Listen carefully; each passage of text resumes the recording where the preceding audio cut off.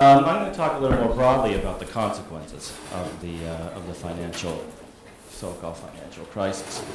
So um, there, there is a, there has been a credit crisis. Every day it's the um, difference between the LIBOR, the London Interbank Offer Rate, which apparently sets credit cards and auto loan rates and commercial um, borrowing and prime business borrowing, uh, the spread between that and the federal funds rate, in normal times it's about uh, 225 basis points, right? But uh, during last week it uh, went up to about 425 basis points. Uh, today it's down to about uh, 200. So people take that as evidence that lending among banks has really declined.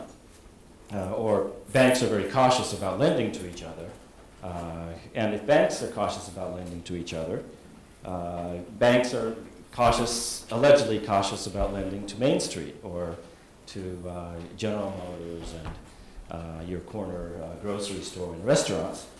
And that's the so-called um, credit, credit crunch or credit, credit crisis. So there's some economists that have went and tried to calculate uh, in a very simple way uh, at some investment banks. Uh, those that still have jobs at investment banks said that so GDP will be lower than the credit crunch. This is before the bailout, but I don't know if they really expected the bailout or not. But the tightening of credit would result in U.S. GDP growth lower than two percent than otherwise over two years. So the next two years 2009 and 2010, GDP growth would be 2% lower.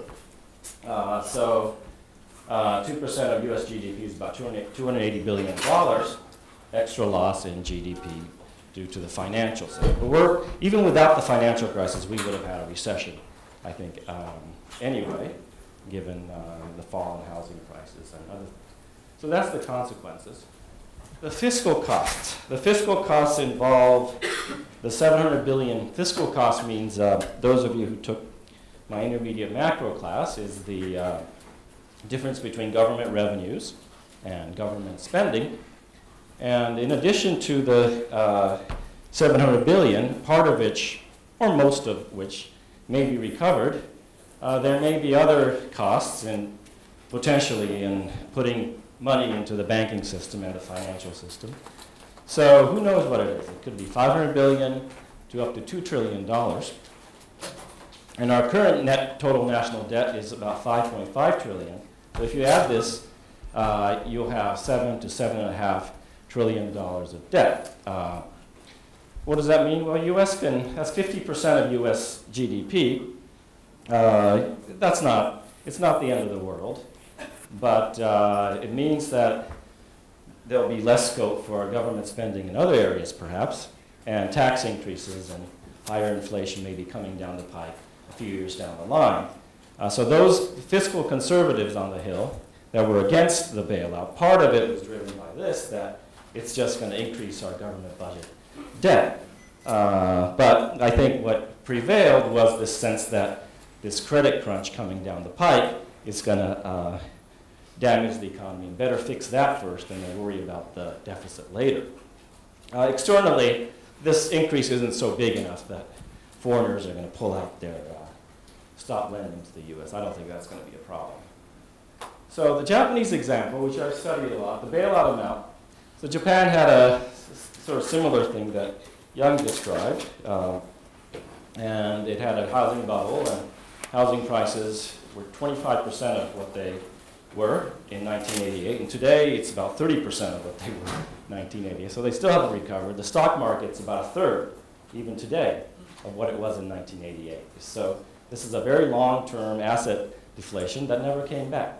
But the government spent about 20% of GDP uh, to try to combat the crisis, and uh, it basically bought up these problem loans that were lent to housing and raised the capital of the banks. Now, it's not, there's a lot of work being done over the last 15 years or so. So this started in, uh, they realized the problem in about 1991 and didn't admit it until about 1998. Uh, and then they put a lot of money in for that, after that. But it's not really clear what uh, this uh, crunch, credit crunch, and uh, uh, government bailout, bailout did because there's a lot of work being done on this, and most of it show that, yeah, it helps on certain sectors like small and medium-sized businesses.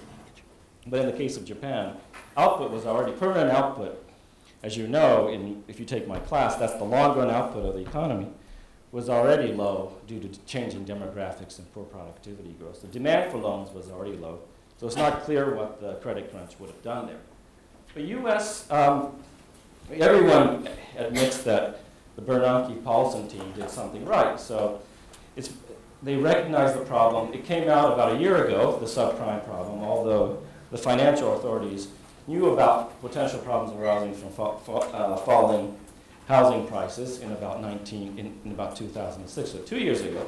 But the U.S. really recognized the problem quickly in, in one year, whereas in other countries like Japan it took seven years, and the bailout was very quick, it's immediate uh, immediately money was put in. So, um, so I think that was, that was good. But I think what the problem so far the response was uh, there really isn't a consistent set of rules to deal with the crisis. So it's been, it's been so haphazard. You save, uh, you let Lehman Brothers go, but you save AIG, and then you have this bailout plan. So you don't really know if the government's willing to save all banks, large banks, investment banks, assets of hedge funds, and I think we still don't know uh, what the government response is. And that creates, that I think was, introduced a lot of uncertainty in the system and a lot of fear in lending among financial institutions to another because they didn't know which financial institutions were safe and which were not.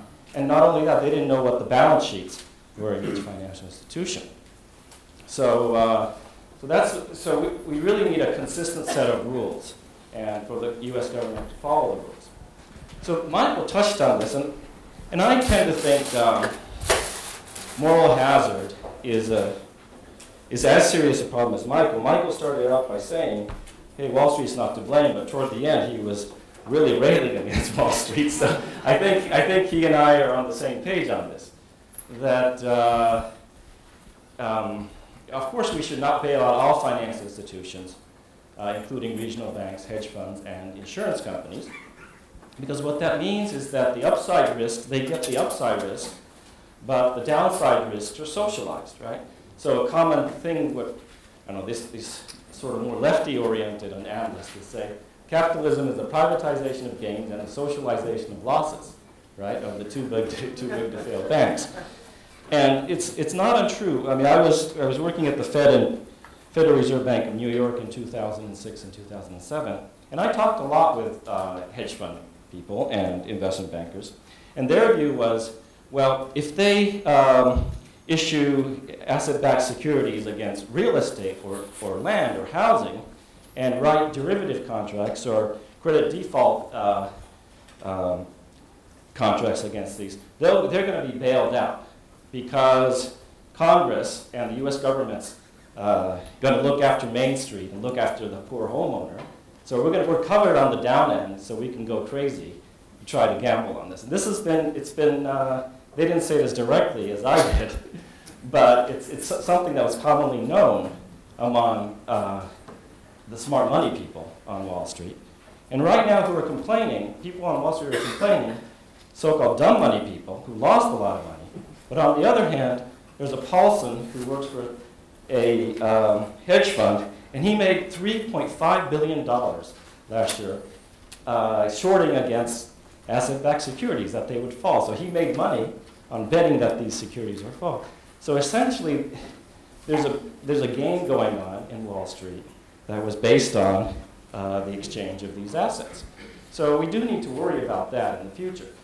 Um, so now, because of the consolidation of the US banking system, almost all banks are now too big to fail, including new commercial banks, Morgan Stanley and Goldman Sachs. So, you know, we, we really, as, as Michael said, we do need to worry about regulation of these, uh, of these institutions uh, so that this will not happen again. So anyway, after a couple of years, U.S. growth should return to an average of uh, 2 to 2.5% per year because of the fundamentals. Solid labor force growth, productivity growth, Uh, Japan has more structural problems that it can't grow above 1.5%.